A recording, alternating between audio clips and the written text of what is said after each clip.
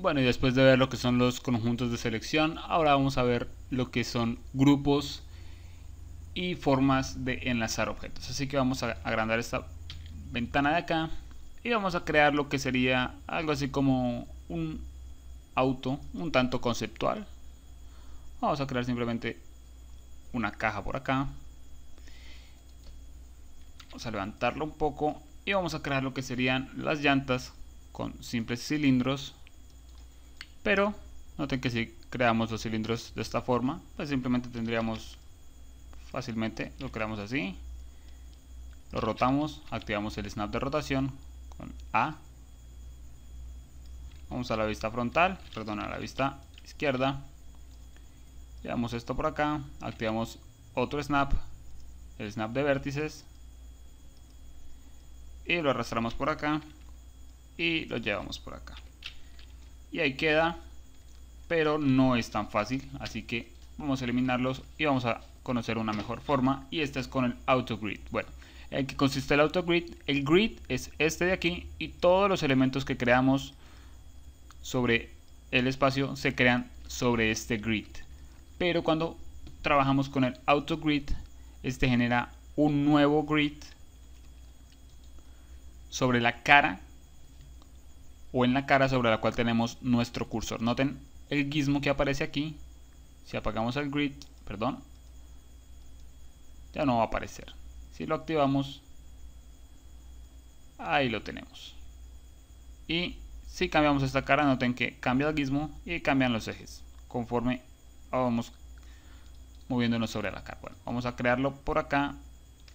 Vamos a asegurarnos que esté de esta forma.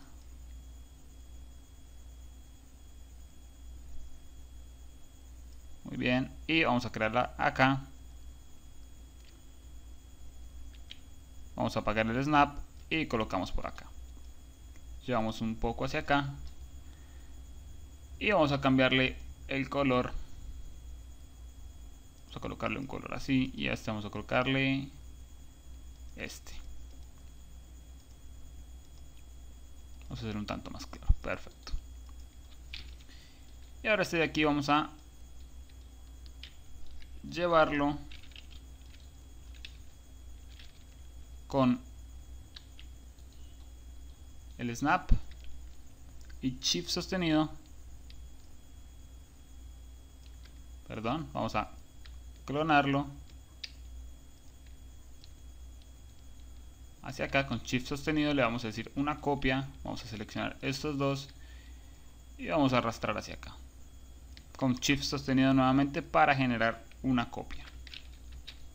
Ahí tenemos las cuatro llantas y ahí tenemos nuestro supuestamente carro. Bueno, ahora supongamos que quiero que todo esto sea un mismo objeto y para eso hay muchísimas formas, pero una de ellas es la forma de agrupar, así que simplemente selecciono todo y le digo agrupar. Y ahora cuando selecciono cualquier, cualquiera de los objetos, voy a apagar el snap que me está molestando, se van a seleccionar todos los objetos y noten que aquí va a decir ahora que hay un grupo seleccionado y aquí me dice que hay grupo número 1, voy a colocarle auto, da igual el nombre. Y esa es la forma de seleccionar. Ahora vamos a asumir que ya no quiero tenerlo agrupado, así que voy a decirle un group o desagrupar y ya los tengo completamente desagrupados. Ahora supongamos que queríamos agrupar todo, pero se nos olvidó una llanta. Vamos a agruparlo nuevamente. Voy a darle el nombre que sea. Y quiero añadir este objeto a este grupo. Bueno, vamos a decirle attach y vamos a buscar cualquiera de los objetos del grupo al cual queremos añadirlo, que va a ser este. Y ya va a ser parte esta rueda de este grupo. Ahora, no necesariamente si quiero modificarlo, no necesito desagruparlo para poder mover una llanta, por así decirlo. Control Z, vamos a agruparlo nuevamente. No es necesario. Puedo también generar, puedo decir que quiero abrir el grupo, más no desagruparlo. Noten que ahora aparece unas líneas imaginarias donde puedo mover por acá y puedo mover por acá. Y puedo decir cerrar el grupo. Y vuelvo a tener los objetos agrupados. Control Z, Perfecto. Pero esto muchas veces no me permite un control sobre cada uno de los objetos, así que voy a decirle desagrupar. Y vamos a ver la siguiente herramienta, que es la herramienta de enlazar y desenlazar. Así que yo quiero decirle que voy a enlazar esta llanta a este objeto. Y ahora si selecciono, voy a darle W para ir a mover. Si selecciono este objeto o el cuerpo del carro, noten que me dice que solamente tengo un objeto seleccionado no está seleccionada esta llanta, pero si muevo el carro o si muevo la carrocería, se mueve automáticamente la llanta. Cosa diferente si selecciono la llanta y muevo la llanta, no se mueve la carrocería. Es decir, este objeto está enlazado a este objeto y depende de este objeto, pero este objeto no depende de este. Así que podemos decirle también que esta llanta quiero enlazarla a esta. Esta llanta de aquí quiero enlazarla a esta.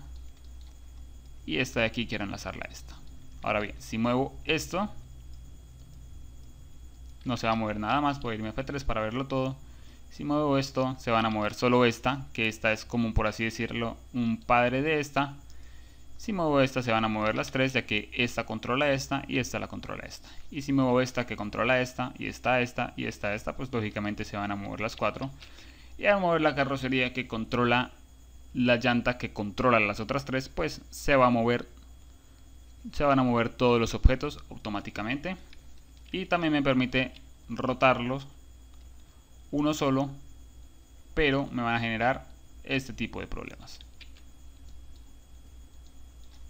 a diferencia de este que solamente va a rotar uno. Y este va a rotar todos. Ahora ven si quiero desenlazarlo simplemente le digo que quiero romper ese enlace. Y si me voy por acá noten que ya no va a estar adherida esta llanta a esta. Y lo mismo voy a romper este enlace.